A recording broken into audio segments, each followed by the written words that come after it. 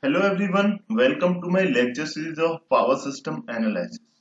Today we will discuss about Gauss-Seidel method for load flow analysis. Basically Gauss-Seidel method is a little modification of Gauss method.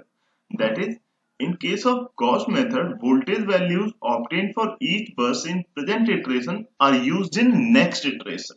While in case of Gauss-Seidel method, voltage values of some buses in present iteration are used in present iteration itself. Okay, this is the only difference between Gauss method and Gauss-Seidel method. This can be done by spreading the integral in two parts. The integral in two parts. Q equal to 1 to n is equals to Q equal to 1 to p minus 1 plus Q equal to p plus 1 to n. The integral is spreaded in two parts. While doing the load flow using any method, we find the voltages at all the buses serially. Like first of all, we will calculate the voltage at first bus that is V1, then V2, then V3. Likewise, up to n we will calculate all the values in any particular iteration. Suppose, suppose in any iteration, if we are calculating the voltage at pth bus, means in that iteration we have already calculated the voltages at bus number 1 to p minus 1 bus. Okay. So these voltages of first to p minus 1 bus should be used to calculate the voltage at pth bus in that particular equation. Means suppose we are calculating at voltage at pth bus then the voltage value of first to p minus 1 bus should be used as updated values while p plus 1 to n are non-updated values. Okay.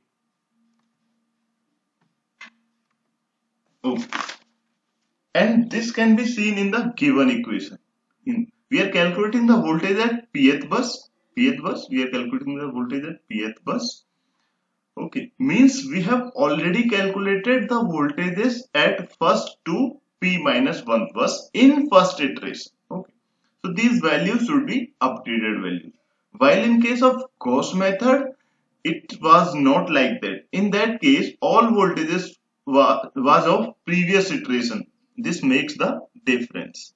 Means if we are calculating the voltage at pth bus, pth bus, so the value of first to p minus 1 bus should be used as updated values because we have already calculated these values in this particular iteration while p plus 1 to nth bus voltages are not calculated are not calculated in this particular iteration so these values should be used from previous iteration. If we are at first iteration then these values will be initial values. Okay? Okay let's take an example of take an example of six bus system. Bus number one is slack bus. Bus number one is six slack bus. We are calculating v4 at first iteration. V4 at first iteration means p equal to 4 and q equals to 0 we are calculating at first iteration. First iteration means q, q k equals to 0 k equals to 0 then only we will calculate vp1 vp at first iteration. Okay. Okay. if we, we will put p equals to 4 and q equals to 0 then we will get v41 equals to 1 upon y44 p4 minus jq4 upon v4 conjugate 0 0 means the uh, previous iteration values or initial value if we are at first iteration. Okay. Minus q equals to 1 to 3 y4q vq1 1 means we are at first iteration and the values of 1 to 3rd bus voltages values should be of first iteration only. Plus q equal to 5 to 6 y4q vq0 vq0 means these values will be initial values. These values will be initial values. Means we have already calculated v1 v2 and v3 for first iteration. Basically there is no need to calculate the voltage at first bus because first bus is slack bus and at slack bus the voltage is already specified. So V1, V2, V3 will be used as updated values while V5 and V6 will be used as non-updated values. Okay. If we expand this equation, we will see something like this. We will see something like this. Okay. In which voltage V1, V2 and V3 are updated values. Updated values or the values obtained in first iteration itself. Means we are calculating the V4 in first iteration and the we are putting the values of first iterations only for voltage V1, V2 and V3 while V5 and V6 will be taken from previous iteration. Because we are in first iteration that's why these values should be initial assumed values. Okay.